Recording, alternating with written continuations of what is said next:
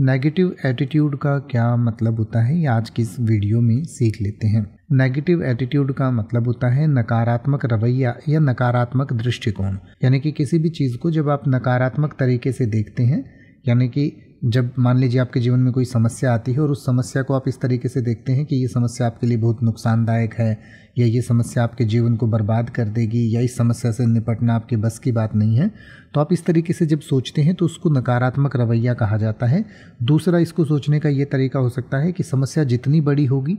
उसका समाधान भी मुझे उतनी ही मेहनत करके निकालना होगा और उस समाधान को निकाल कर मैं हमेशा के लिए उस एक लेवल पर पहुँच जाऊँगा कि ऐसी समस्या अगर जीवन में दोबारा आती है तो मुझे इतनी दिक्कत नहीं होगी, मैं आसानी से उस समस्या से अगली बार पार पा सकता हूँ। तो ये समस्या मेरे सामने एक अपॉर्चुनिटी की तरह आई है तो मुझे इसे एक अपॉर्चुनिटी समझना है और इसको पार करना है। तो ये एक आपका सकारात्मक रवैया हो गया या पॉजिटिव एटीट्यूड हो गया। लेकिन अगर आप सोचते हैं कि ये समस्या आपका क्यों आई या आपको समस्या ही आपके जीवन में आती रहती हैं, यानी कि किसी भी चीज़ के बारे में आप बहुत नेगेटिव माइंड सेट आपका है तो उसको आप नेगेटिव एटीट्यूड कह सकते हैं। तो जैसे कि अगर आप ये कहें कि उसका नकारात्मक रवैया अक्सर टीम के मनोबल पर असर डालता है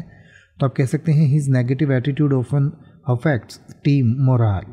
या अगर आप ये कहना चाहें कि उसे परियोजना के प्रति अपना नकारात्मक रवैया बदलने की ज़रूरत है तो आप कह सकते हैं she needs to change her negative attitude towards the project